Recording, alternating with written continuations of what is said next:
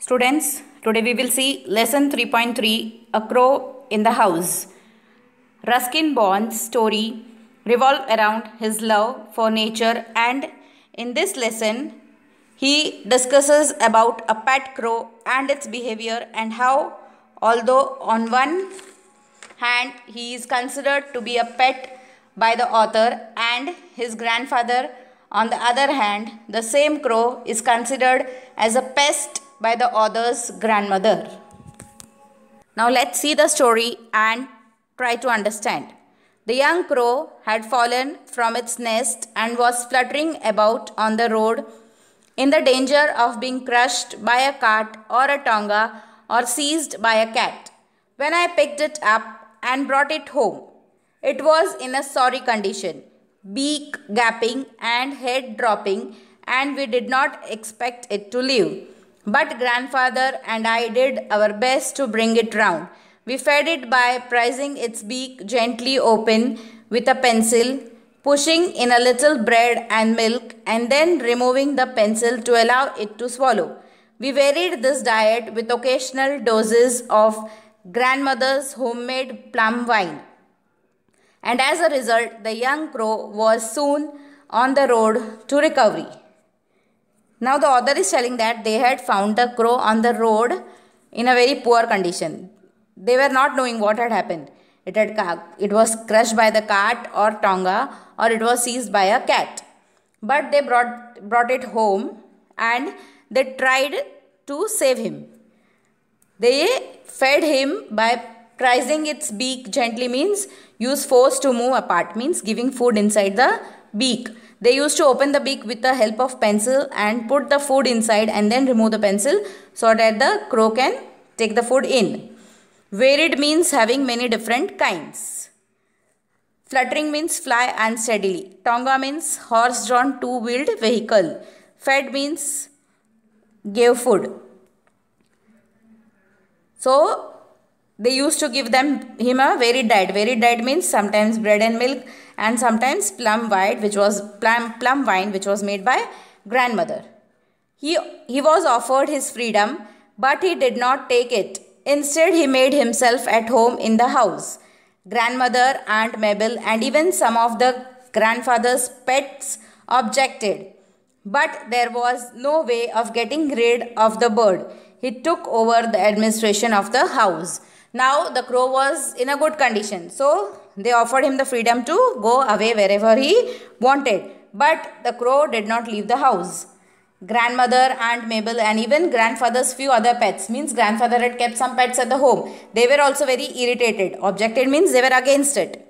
But then also crow did not leave the house and he took the administration of the house means he was behaving as he want in the house.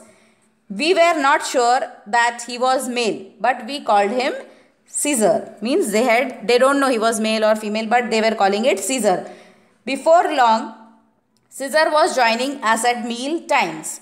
Besides finding his own grubs or beetles in the garden.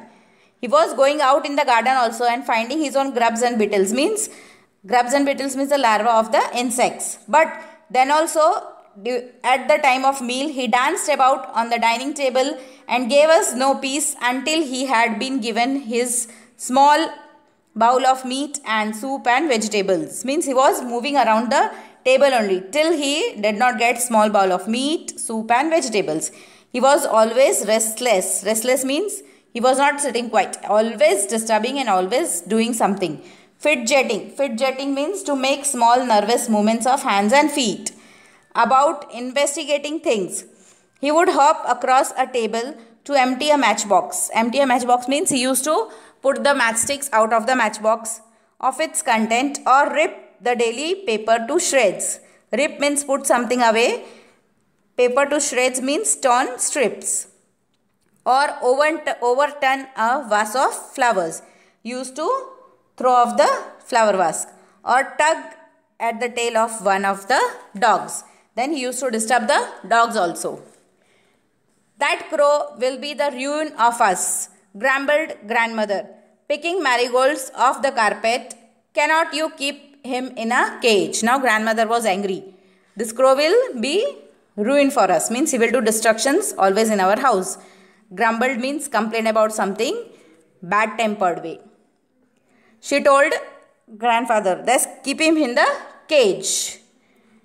We did try keeping Caesar in cage, but he was so angry and objected with such fierce cawing and flapping that it was better for our nerves and of and peace of mind to give him the run of the house. Now they tried keeping him in the cage, but it was very angry and cawing in a very bad way and flapping the wings. He did not show any inclination to join the other crows in the banyan tree. Means inclination means a feeling that makes somebody want to behave in a way. Means he did not want to join the crows which were always coming on the banyan tree. Grandfather said that this was because he was really a jungle crow. Grandfather said that he was a jungle crow. So he did not want to go and meet the other crows. A raven of sorts. A raven of sort means not of good quality and probably felt a little contemptuous showing disregard of very ordinary carrion crow. Carrion means the flesh of an animal that has been dead. But it seemed to me that Caesar, having grown used to living with humans as unequal terms, had become snobbish. Snobbish means to consider oneself to be superior to others means selfish and did not wish to mix with his own kind. He would even squabble. Squabble means to quarrel with Harold the hornbill perching on top of the Harold's cage. He would peck at the bird at the big bird's feet. Peck means to bite with beak. Whereupon Harold would swear and scold and try to catch the Caesar through the bars. Grandfather was thinking that he was like a jungle crow, so he did not want to go with the other crow. But the other was thinking that he was living with the humans, so he had become selfish he wanted to stay here only. In the house, he used to disturb Harold, means it was a hornbill, which was a pet of grandfather. He used to peck to the bird's feet and was disturbing it. In time, Caesar learned to talk a little as ravens sometimes do in a cracked, throaty voice. Now, after some times, Caesar started to talk also as ravens do sometimes means in very cracked noise. He would sit for hours outside the window banging on the glass with his beak and calling hello hello. He was sitting on the window and banging on the glass and saying hello hello. He seemed to recognize the click of the gate when I came home from school and would come to the door with a hop, skip and jump saying hello hello. He was listening to the voice of the gate. As the other was coming back from the school he used to go to him and he used hop he used to hop skip jump and say hello hello. I had also taught him to sit on my arm and say kiss kiss while he placed his head gently against my mouth. Now author had taught him to say kiss kiss and so he placed his head gently against my mouth one on one of the aunt mabel's visit Caesar alighted on her arm and cackled kiss kiss. Now when Aunt Mabel came to the ho at home, Caesar alighted to his arm. Means he sat on the arm and cackled. Cackled means said kiss kiss. Aunt Mabel was delighted and possibly flattered and leant forward for a kiss. But Caesar's intention shifted to my aunt's gleaming spectacles and thrusting at them with his beak, he knocked them off. Now, flatters mean to say nice things to someone. Delighted means happy. Gleaming means shining. Now, aunt was very happy that crow is telling me to kiss. So, she was very happy and just about to do, but crow's attention went to the gleaming spectacles and thrusting at them his beak, he knocked them out. Thrusting means to push somebody suddenly. Means he took the spectacles and throw, threw them down. Aunt Mabel never was a success with the pets. Knocked means to make a noise by hitting something. Pet or pest? Grandmother insisted that Caesar was a pest in spite of his engaging habits. Now, grandfather is again, grandmother is again angry. Pet or pest? Pest means an insect or animal that destroys everything. If he has restricted his activities to our house, it would have not been so bad. If he has restricted means limited till our house only. That's throwing things here and there, breaking things. But now he took to visiting neighboring houses and stealing pens and pencils, hair ribbons, combs, keys, shuttlecocks, toothbrushes, and false teeth. He was especially fond of toothbrushes and made a collection of them on the top of the cupboard in my room. Most of the neighbors were represented in our house by a toothbrush. Toothbrush sales went up the, that year. So did grandmother's blood pressure. Now he was not only disturbing and breaking things in our house, but he was going to the neighbor house and took their things and brought them to the house. For example, pen, pencil, hair ribbons, combs, keys, shuttlecocks, toothbrushes and false teeth. He was very fond of toothbrushes. So he toothbrushes. He brought everyone's toothbrushes in the house and he increased grandmother's blood pressure. Scissors bite tooth on children going into the Baniya's shop and often managed to snatch sweets from them as they came out. Now, he was disturbing children also. Spied means to observe carefully and make out something. He was observing the children going to Baniya's shop and whatever they purchased from there, he was snatching from their hands.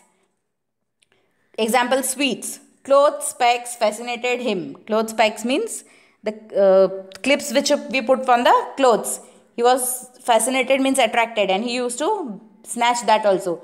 Neighbors would return from the bazaar to find their washing lying in the mud and no sign of the pegs. Now neighbors were disturbed. When they went to bazaar, their clothes were lying in the mud and the pegs were not there. These two found their way to the top of my cupboard. Now these all things were found where? On the other's cupboard. It was Caesar's gardening activity that finally led to disaster. Now the gardening activity led to disaster means tragedy. He was helping himself to our neighbor's beans when a stick was flung at him. He was helping himself to the neighbor's beans, means he was plucking the beans. And flung means to throw something, breaking his leg. The stick came in such a way that it broke its leg.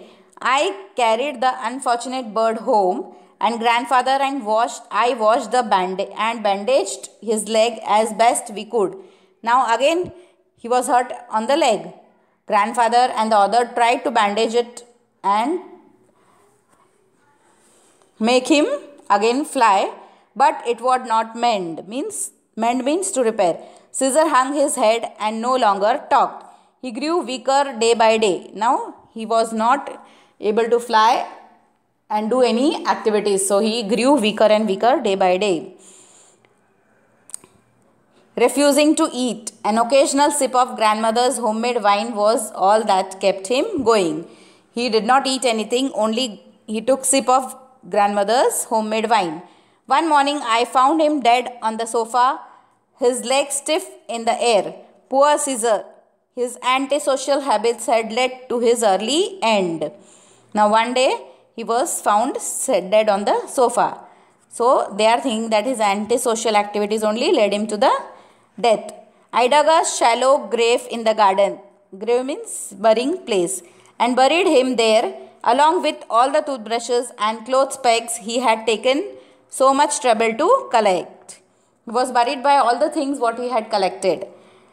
It is by Ruskin Bond from Grandfather's Private Zoo.